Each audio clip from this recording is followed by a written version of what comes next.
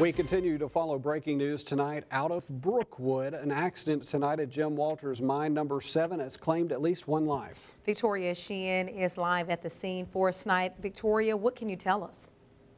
Yeah, Tamika, actually, I had to move a little bit down Highway 216 uh, to find cell service. And right now, I'm actually outside of Jim Walter Resources number 4 mine. Um, and there has been about over 20 cars, so I don't know if they're calling a meeting with their employees or anything of that. But earlier, I was, um, I did speak with Daryl Dewberry with United Mine Workers of America. Um, he did confirm that there was one fatality um, at the west portal at Jim Walter Mine number seven, and he did confirm that that was an underground accident. He says that they do know the vic- the name of the victim, but they're not releasing it at this time because they still have to um, alert the next of kin.